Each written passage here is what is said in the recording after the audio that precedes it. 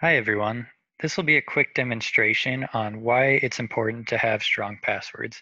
I know that's something you hear all the time um, whenever we're creating passwords for different websites or to manage our accounts that it's really important to have a strong password, but I think we don't always realize how vulnerable weak passwords really can be.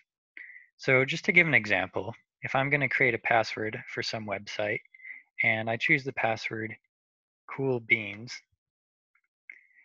um, usually that website will not store this phrase or this word as plain text like this. So in the database, they'll store it as a hash. A hash is a string of letters and numbers that represents some word or phrase. So when I type in cool beans here, you'll see that it gives us this hash. So SHA-1 is one method of hashing. It's not one of the stronger ones, but um, it works for this demonstration. So now this website has saved this hash to their database, not your actual password. And that makes things a little more secure. Let's take this hash and put it in this file here, demo hash, it's a text file, and I'll save it. So whenever there's data leaks, and I'm sure you hear about them all the time, how companies will lose information to attackers, the attackers usually don't get access to the passwords themselves. They get access to these password hashes, which but in and of themselves are useless to the attackers. They can't use that to log on to the website. So they have to crack it and figure out what the hash represents. I'll pull up my command prompt now.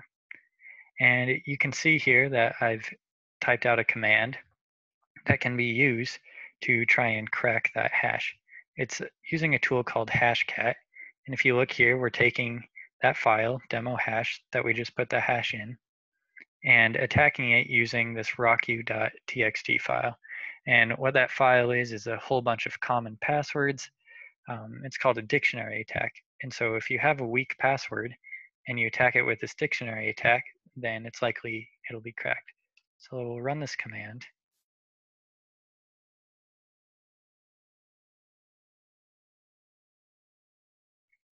And you can see it just took a few seconds.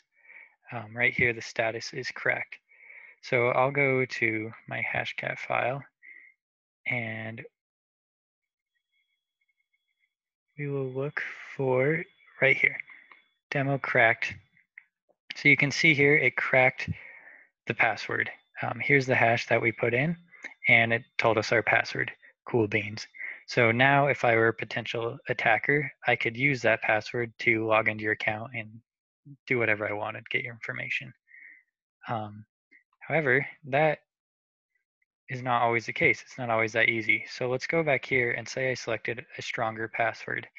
Um, we can stick with the same format. We said do a capital C, do a zero, an O, and then maybe add a U in there, and then So this is still fairly easy to remember, but of course it's more complex. It follows the rules you've heard about making a strong password. I'll copy this hash now, save it to the same file, and then go back to the command prompt and run the same command.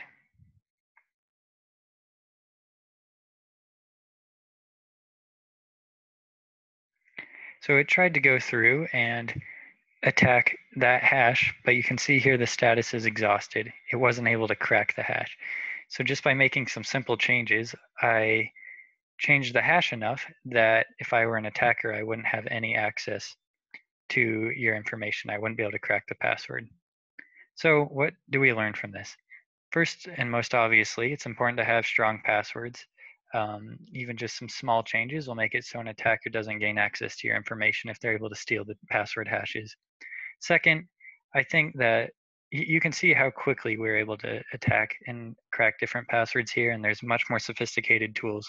So I think it's really important that we enable two-factor authentication and do things so we rely on more than just our password to protect our information because as you've seen, passwords are not the strongest defense that we have.